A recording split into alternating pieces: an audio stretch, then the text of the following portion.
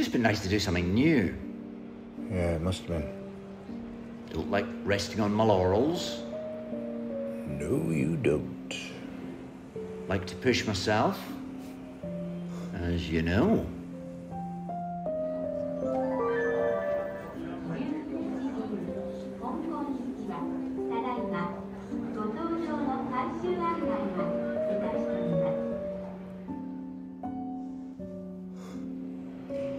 So sorry. Am I keeping you?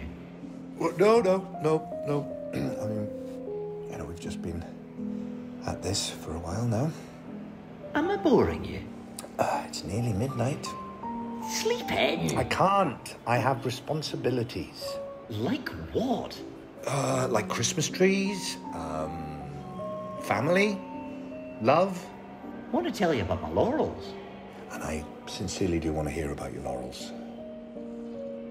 It was an adventure. Was it? I pushed myself.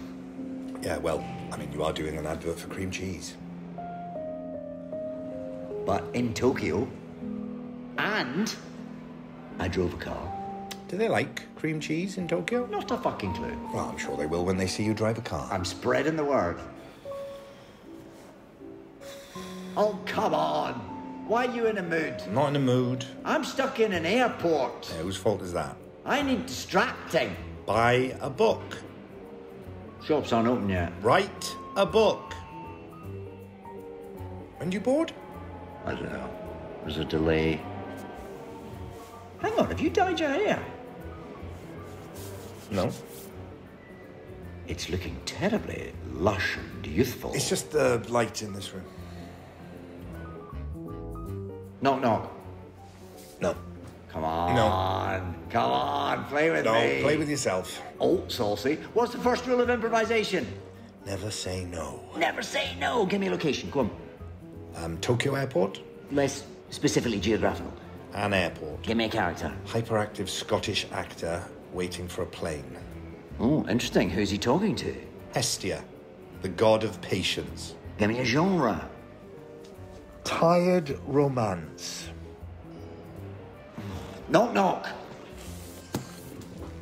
Go away! I got a parcel for you.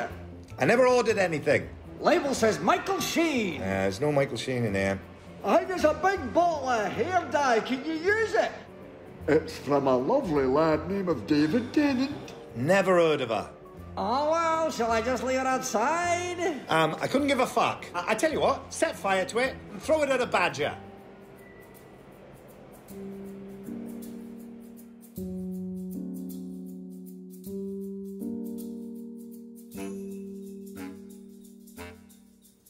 Just need to talk to them. Isn't David still filming in Japan? Well, they've got phones in Japan and in Wales. Well, Michael cocoons for Christmas. How do you know what Michael does for Christmas? We talk all the time, to be honest. What, you and Michael? Yeah, and David. But you're filming in the Caribbean. Yeah, they've got phones here too, Simon. How is it that everyone is filming something except for me? They're just so good together, aren't they? Simon, I'm running out of time. I'm meant to be on set. And I resent it, Yeah, I won't be a minute. But I can't ignore it. Simon, I need to be in hair and makeup. But listen, the networks don't want me. Nobody wants me. Of course they do. Only if I've got David and Michael. Well, so get David and Michael. I need an idea. What happened with the film? It, it was only going to happen if I had David and Michael. Ah, and they said no. They thought about it. And then? Then they said no.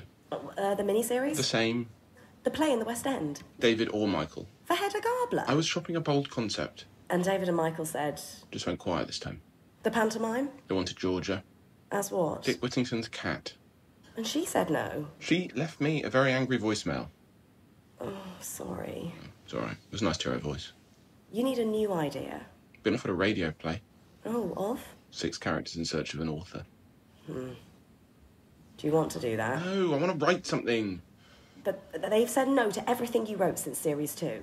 Comic relief. They said yes to comic relief. Oh, well, you can't say no to comic relief. It's like national service. Who's say? Yeah, I've got to go. But if, if I offer them something and they say no against Brock, that's it. I'm, I'm toast. I know. Yeah, yeah okay, I'm coming. Oh, mm. is there a version of this? Is there a version of what? Um, our director says it when he wants us to try something.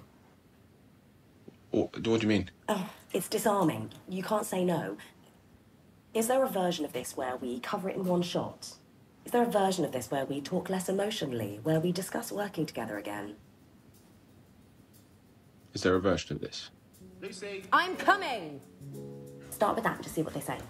Yes. Sorry. Go. Great. Thank you. Bye bye. Oh, uh, Sprog, uh, one more thing. Sorry. Sorry. Sorry. Sorry. Um. So they're not picking up when I call. So is there a version of this where you?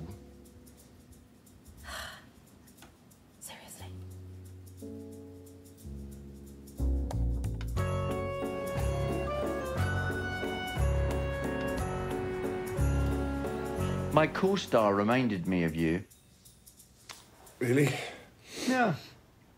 Yeah, I mean, not you now, you, like nowadays, grumpy old bastard you, not that you, but you back in the day when we first started working together. How so? You know, it was playful, quick witted, youthful, curious. I made him laugh. Remember when I used to make you laugh?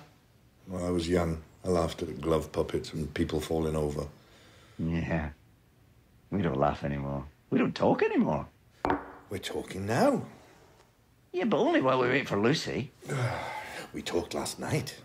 Yeah, but you were in a mood. I was not in a mood. All right, fine. You weren't in a mood.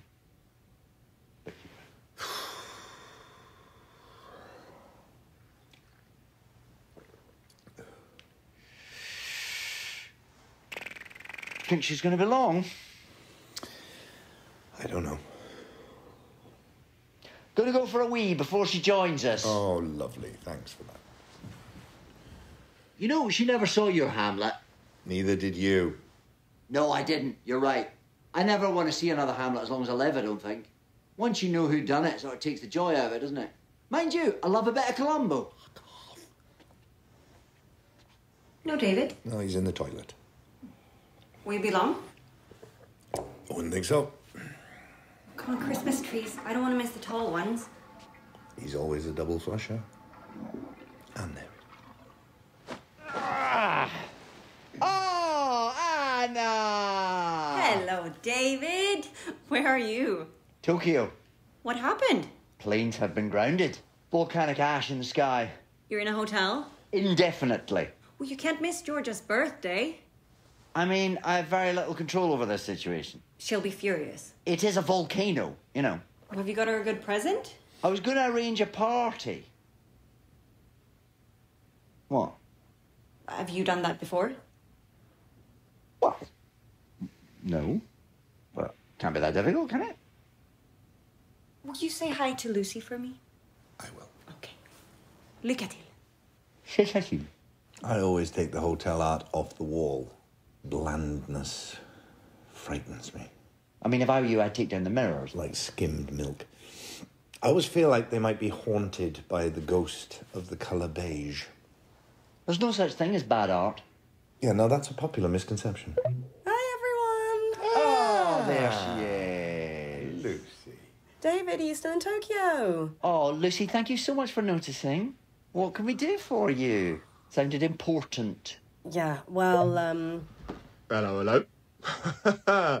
David, Michael. I'm sorry, guys. Oh. Look, he's my brother, so.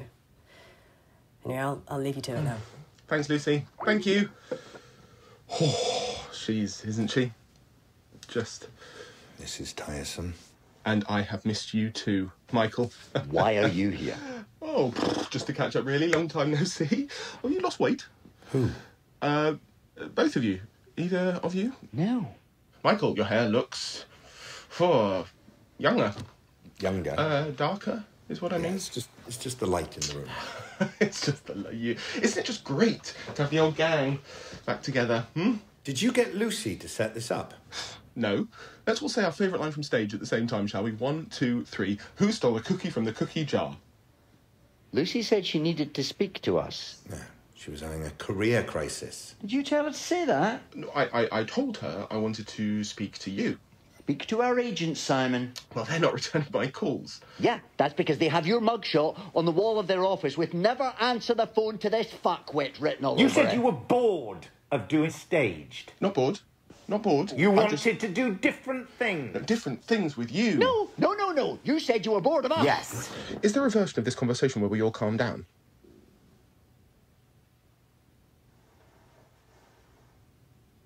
Yes. All right. Is there a version of this conversation where I'm able to speak uninterrupted for a bit. It's n- not impossible. It's not impossible, no. Okay, well, um, uh, is there a version of of of this December where we is there a version of December where we all work together again? There's always a version. There is a version, isn't there? Something, something, something classical, theatrical. You know, the old rat-a-tat-tat, the old charm. Look, David's in Tokyo. Yeah, Michael's buying a Christmas tree. Yeah. Is there a version though that celebrates all that? There's There's always a version. always a version.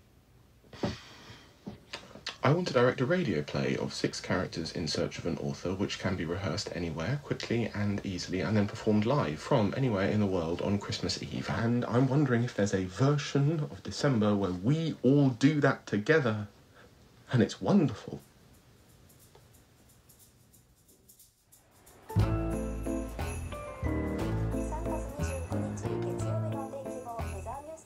Looks like they're hoping the wind is going to blow the smoke cloud away to the north. How long's that going to take?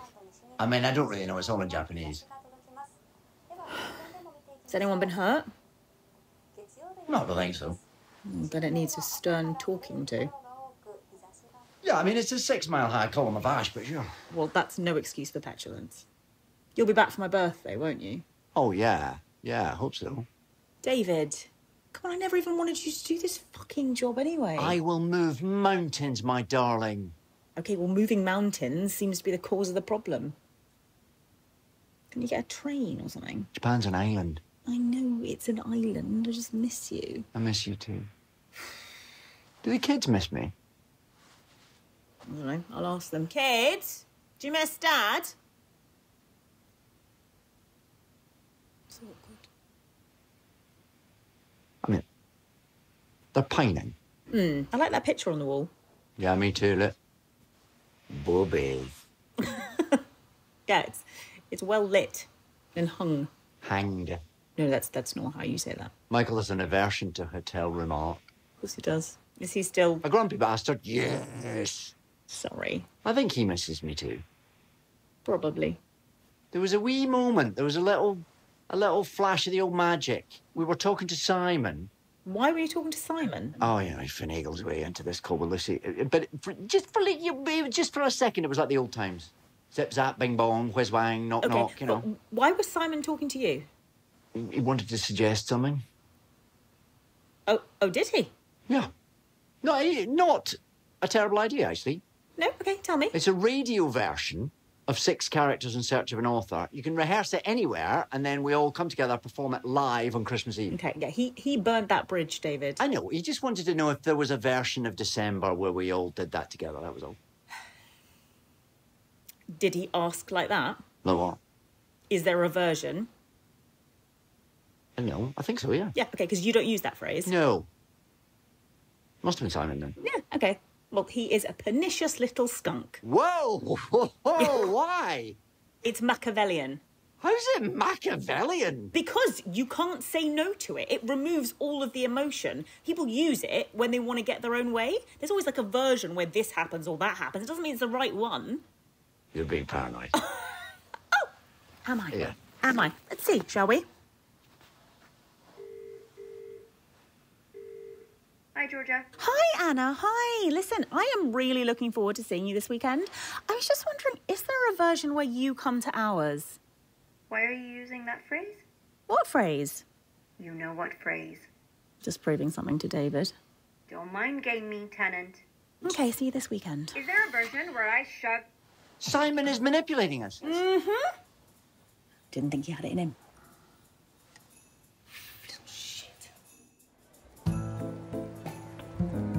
Everyone's very excited. You've told them. I have Team Stage back together again. We're very excited. Yes, we've talked about it non-stop since you brought it up. Uh, no second thoughts, I hope. None. Not a single second thought. And can I just say that I'm sorry for what I said publicly about us before? Don't worry about it. It's fine. You wanted to branch out. Yeah, exactly. I just wanted to try something new to show that I could do new things. I was frustrated, okay? Just everyone wanted you. Water under the bridge. Well, I was afraid I'd burnt the bridge. Well, the bridge is fine. I wonder if there's a version of this whole experience where we end up as friends. I wonder that too. A version where we're best friends. God, wouldn't that be nice? And I was just thinking before I got on the call, I wonder if there's a version where we don't do six characters in search of an author, we do something else. Not six characters. I, I'm just saying, is there a version where I write something original for us? Something original. I like the idea. There is a version, isn't there? There's, there's certainly a version. But version. is there a version where someone else writes it? Hmm. Someone else? Is there a version, Simon?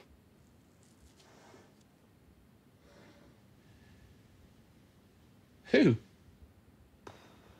Neil Gaiman, perhaps? Neil Gaiman? Oh, no. No. Why not? Well, because there's a version where I never read his books, and in that version I've managed to keep that a secret for years. I don't want to chance my luck any further. Never read his books. I'm saying there's a version of reality where I haven't. Not even Good Omens. I mean, I skimmed it. He keeps sending us signed copies. And there's a version where I sell them on eBay. Is there a version where I still direct it, though? Maybe if it's Never mind Neil Gaiman. What about Russell T Davies? I'm sorry, there's a version where I don't like Russell T Davies. Why not? Because he doesn't like me. Rubbish. He never cast me. Well, I mean, is there a version where that doesn't matter because he's got loads of BAFTAs and an OBE and shit? Does he have a British Comedy Award though? Yeah, he's got that too. That's disappointing. He does not respect me. He asked you to do a bit from Under Milk Wood. Ugh, you can't swing a fucking cat for people who've asked me to do a bit from Under Milk Wood. Is there a version where you stop being so cantankerous? I'm not being cantankerous. No, you've been snarky and cold with me for weeks now, and I reach out and I try, and you brush me off. Well, is there a version where you accept that we have been working together non-stop for two years and I might not want to spend all my time with you all the time? Is there a version where I might want a change? I don't know what to say. Is there a version where Simon's not the only one who's bored of us? I don't accept that version. Can I just add that I've already been paid for it and and have told them that they'll have it and they're expecting us to do it on on Christmas Eve. So whatever we do, there is a version where we are doing it. And that is the version. We're in that version.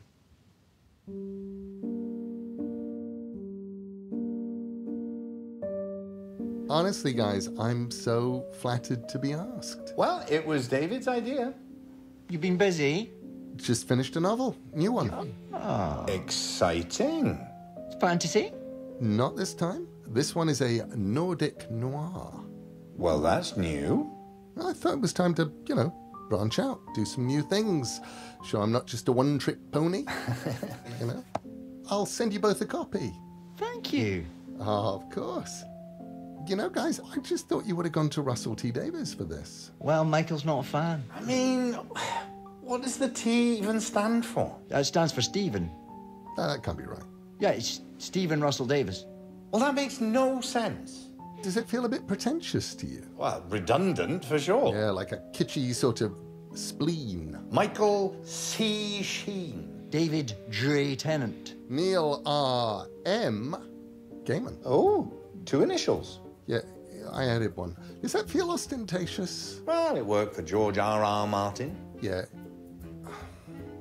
We are not talking about George R. R. Martin. So I don't want to talk about it.